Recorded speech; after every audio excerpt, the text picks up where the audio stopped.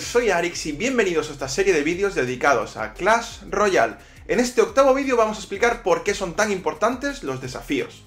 En Clash Royale tenemos diferentes formas de conseguir cartas. Tenemos por un lado los cofres, la tienda o incluso las donaciones en el clan. Pero sin duda la manera más eficiente de conseguir cartas es mediante los desafíos.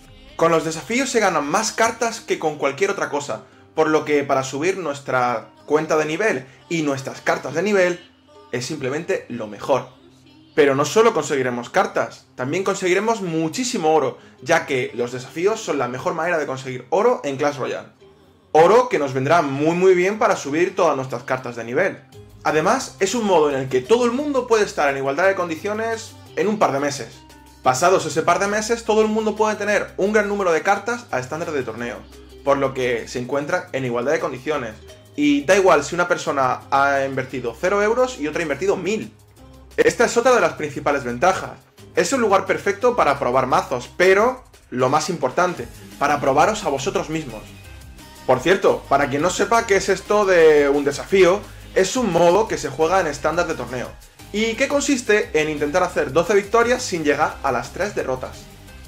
Cada victoria que conseguimos hace que la recompensa en cartas y oro sea mejor, pero también va a ser más difícil porque con cada victoria nos emparejará contra rivales más fuertes, por lo que las últimas victorias serán realmente un desafío. Hablando de estas recompensas, os voy a dar un ejemplo. Si tuviéramos, por ejemplo, unas 6.500 gemas de manera anual, que serían algo así como unos 50 euros, podríamos conseguir lo siguiente. Si jugáramos grandes desafíos, que cuestan 100 gemas cada uno, podríamos ganar más de 70.000 cartas y casi un millón y medio de oro. Y si jugáramos desafíos clásicos, que cuestan 10 gemas cada uno, podríamos ganar 65.000 cartas y más de 700.000 de oro. Evidentemente, estos son cálculos hechos si siempre os hacéis 12, algo que es casi imposible. Pero con una media alta de 8 o 10 victorias, los resultados no se alejan tanto. Como ya sabréis la mayoría, hay dos tipos de desafíos, el gran desafío y el desafío clásico. El primero cuesta 100 gemas y el segundo cuesta 10. La dificultad de estos desafíos es la misma, por lo que ya dependerá de si podéis pagar esas 100 gemas para el gran desafío o por el contrario preferís ir simplemente gastando las gemas que se pueden ir consiguiendo en el juego y usarlas en desafíos clásicos. Si queréis mejorar en Clash Royale, los desafíos son claves, son la manera en la que más rápido vais a mejorar junto con las batallas amistosas.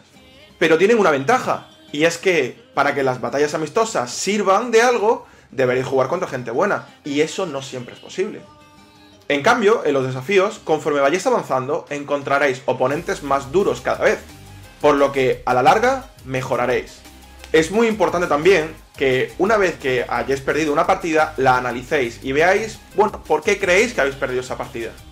De esta manera, cada derrota será una lección aprendida y a la siguiente seréis más fuertes.